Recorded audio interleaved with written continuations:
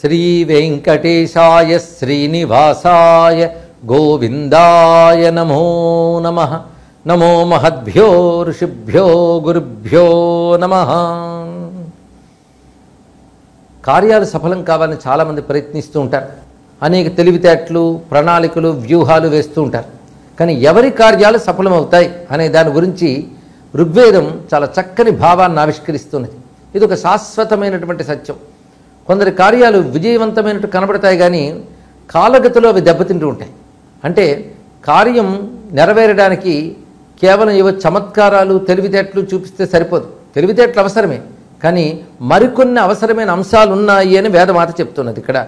నరిష్యతి సవనం యస్మిన్ నాయత అనే మంత్రంలో ఎవరి కర్మలు చెరకుండా ఉంటాయి ఎవరి యొక్క పురుషార్థాలు దెబ్బతినకుండా ఉంటాయి అంటే మతిర్విద్యతే పూతబంధని.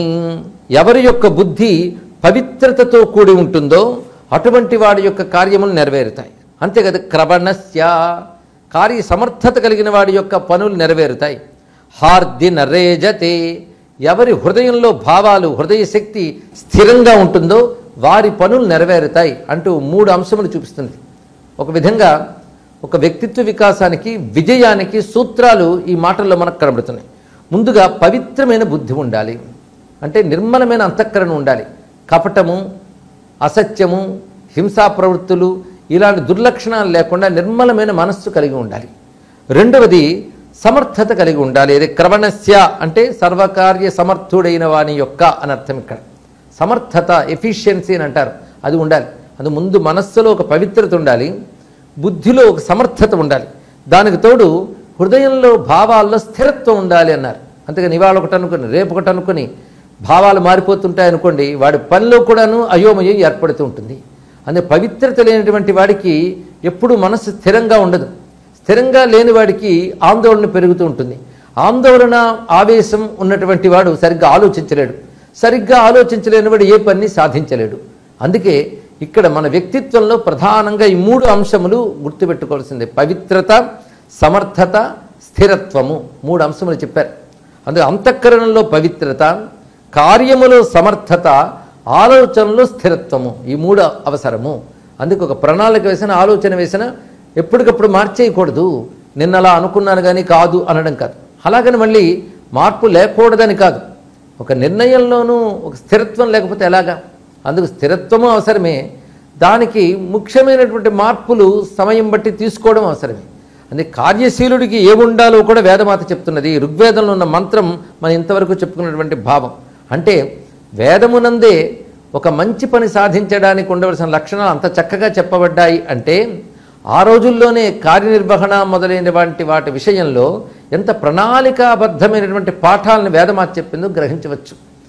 అంటే వేదము కేవలం శక్తి మంత్రమైన దేవతా మహిమతో కూడినటువంటి వాక్యం మాత్రమే కాకుండా వ్యక్తికి కావలసిన బోధను కూడా అందిస్తున్నదే అని మనం గ్రహించవచ్చు.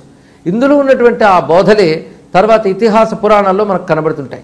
అవతారమూర్తి అయినటువంటి రాముడు కానీ కృష్ణ పరమాత్మ కానీ అదేవిధంగా ఉత్తమ పురుషులైనటువంటి ధర్మరాజు నలచక్రవర్తి ఇత్యాదులందరినీ మనం పరిశీలిస్తే పురాణంలో ఎంతో ధీరోదాత్త చరిత్రలు పుణ్యస్వరూపులైనటువంటి మహాత్ములు ఉన్నారు. వాళ్ళ యొక్క వ్యక్తిత్వాన్ని మనం పరిశీలించాలి.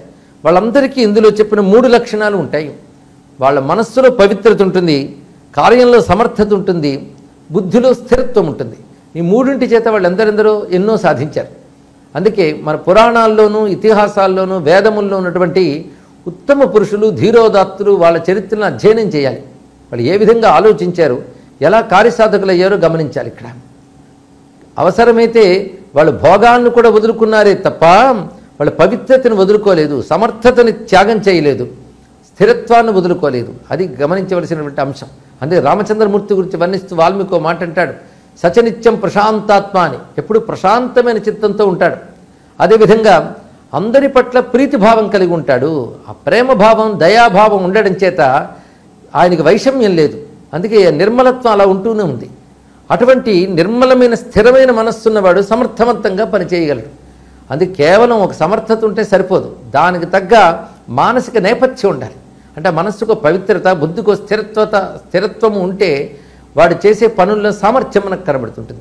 అది సమర్థత వెనకాల పవిత్రత ఎంత అవసరమో స్థిరత్వం అనగా స్టెబిలిటీ ఎంత అవసరమో పురాణవేత్త చక్కగా తెలియజేస్తున్నాడు దానికి మూలం వేదములో ఉన్న మంత్రములే. అందుకే దివ్యమైన పాత్రల ద్వారా ఈ సందేశాన్ని మనకు పదే పదే వ్యాసాది మహర్షులు వాల్మీకాదులు తెలియజేస్తున్నారు. ఒక్కొక్కరి ప్రవర్తనా సరళిని మనం గమనించాలండి. రాముడు ఎలా ప్రవర్తించాడు? యుధిష్ఠిరుడు ఎలా ప్రవర్తించాడు? సర్వసమర్థుడి శత్రువులను ఎదుర్కొనగలిగి కూడా ధర్మానికి లోబడి సమయానికి కట్టుబడి మహానుభావుడు ప్రవర్తించాడు. సర్వసమర్థతతో తిరిగి సమాధానం చెప్పాడు అంటే ఆయన వెనకాల రెండు అంశములు పూతబంధని అంటే పవిత్రమైనటువంటి భావాలతో అనుబంధము అదేవిధంగా స్థిరమైనటువంటి బుద్ధిశక్తి ఉంది. అందువల్లనే విజయం సాధించగలిగిన యుధిష్ఠిరుడు. ఇలాంటి దివ్య గుణాలతో కార్య సమర్థులం అయ్యేటట్లుగా భగవంతుని అనుగ్రహించాలని ప్రార్థిస్తూ